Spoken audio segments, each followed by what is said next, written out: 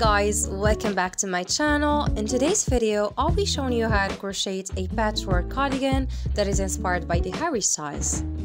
I genuinely make this video for both advanced crocheters but also beginners. Like, if you know some of the basics of crochet, you can just take the patterns that I included in the description box below. But if you're just starting off with crochet, I included all the steps you'll be needing to follow, starting off with how to make the squares, ribbings, cuffs, to sewing everything together.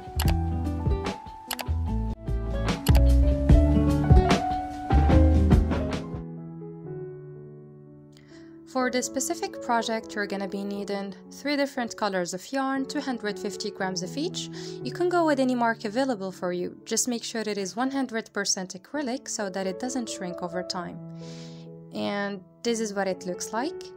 As you can see, it's also a little bit elastic too. And it includes a recommended size of crochet hook. For the tools, you'll be needing a pair of scissors. You can work with this one, but it would be much easier to work with the ones that are dedicated to crafting and crochet.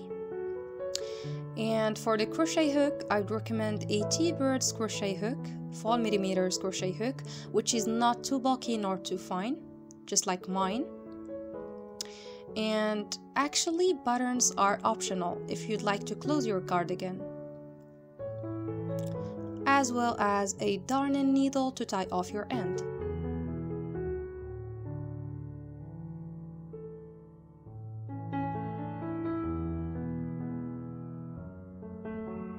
Moving on to the patterns, here's the back panel, the front panel, and the sleeves panel.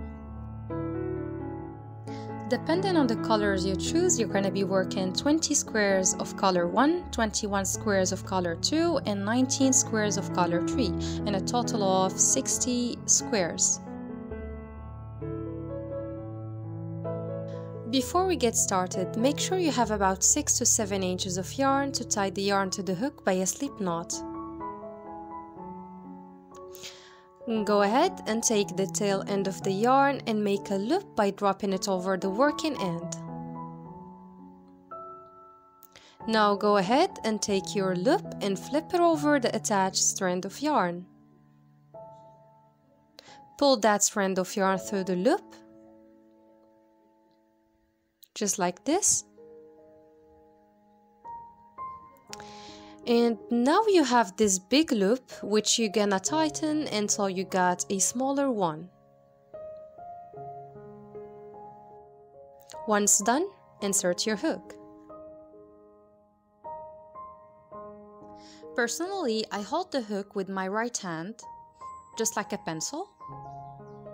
My middle finger controls the attached loop, while my index and thumb are on the flat grip of the hook.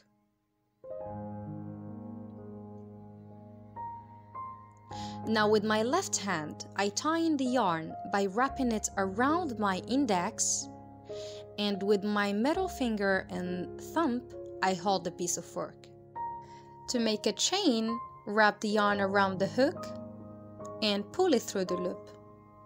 Just like that. Wrap the yarn around the hook. Make sure you take off your middle finger and pull the yarn through the loop. If you're starting off with crochet, just do it over and over until you get the hang of it. And actually, the reason why it's called chain is because it really looks like a chain link if you flip it over. If you look a little more closely, you're gonna see the resemblance. So for this project, you're gonna be needing to crochet 23 chains.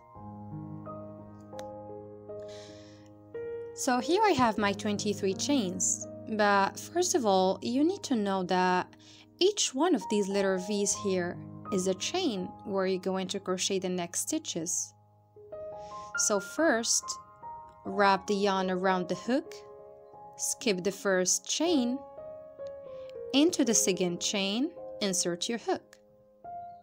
Then you will reach back here and pull up a loop and pull it through the chain. So now we have three loops on the hook. Next, wrap the yarn around the hook and you'll bring it through all the three loops. that's the half double crochet. So I'll do it again. Yarn around hook, insert it into the chain, yarn over and bring it back through the chain, yarn over and bring it through the three loops. Just do it over and over until you reach the last chain. Now that you're on the end of the row, make sure you have 22 half double crochets. Next chain 1 and flip the work over just like this. Now wrap the yarn around hook and make sure to insert the hook into the two loops of the stitch. So here's the front loop. I don't know if you can see it or not. And this is the back loop. Pull up a loop, pull it through the chain, yarn over and bring it through the three loops.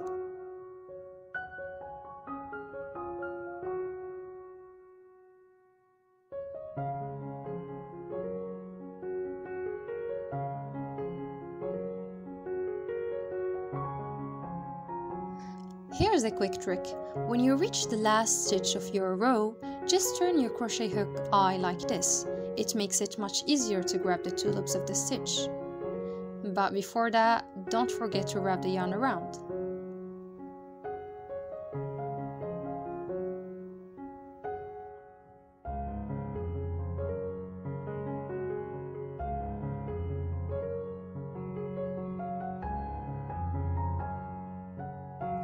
Until now, we've just made two rows.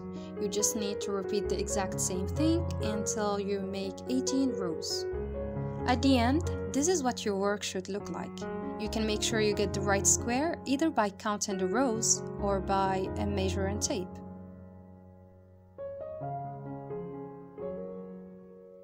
So here my square measures 15 centimeters. Next, you're going to insert your crochet hook, chain one, fasten your work off,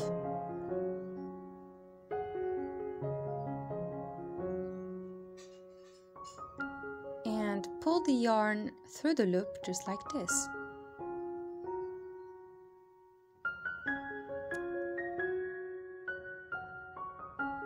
For the bottom ribbon, I just started with 12 chains, then made 11 half double crochet of the first row.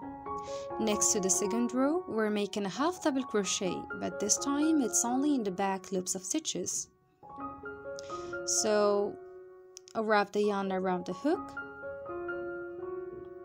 insert it into the back loop only,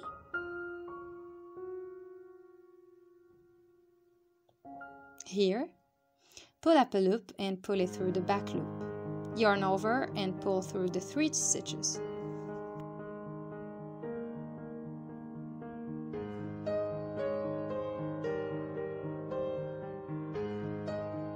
So you just need to do the same thing until the ribbon reach approximately 135 centimeters long.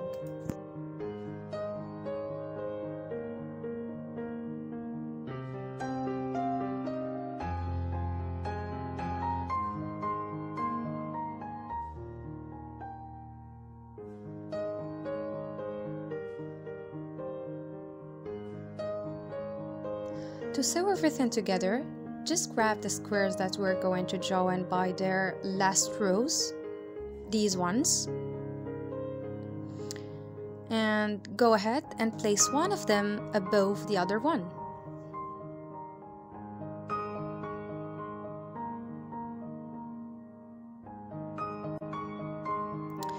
In order to make our seams invisible, we have to work on the back loops only. So as you can see, each one of our stitches has a V. So we're going to work in the back loops of it, just like we did in the half double crochet back loops only. But you need to be careful. The back loop of the upper square is not this one, as we used to know. It's actually the one facing us, since the upper square is flipped over and we're gonna join it with the back loop of the lower square. To make things easier, let's consider that each stitch of the square has its own pair and the square above, under, and beside it, and this is how we connect them. To join the square with the middle and bottom ribbon, it's exactly the same thing. But for the cuffs, considering that its diameter is way smaller than the squares or the sleeves, you have to join each side loop of the cuffs with three or four side loops of the square.